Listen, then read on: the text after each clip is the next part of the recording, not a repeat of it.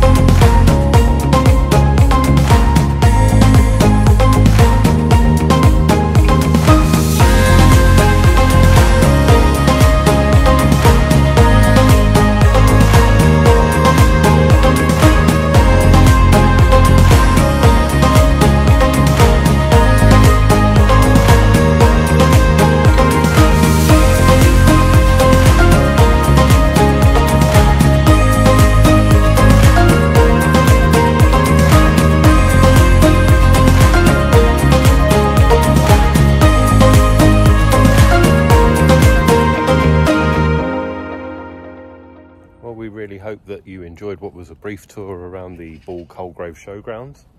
We saw some very interesting things, and hopefully, we'll be bringing some of them to you for your gardens next season.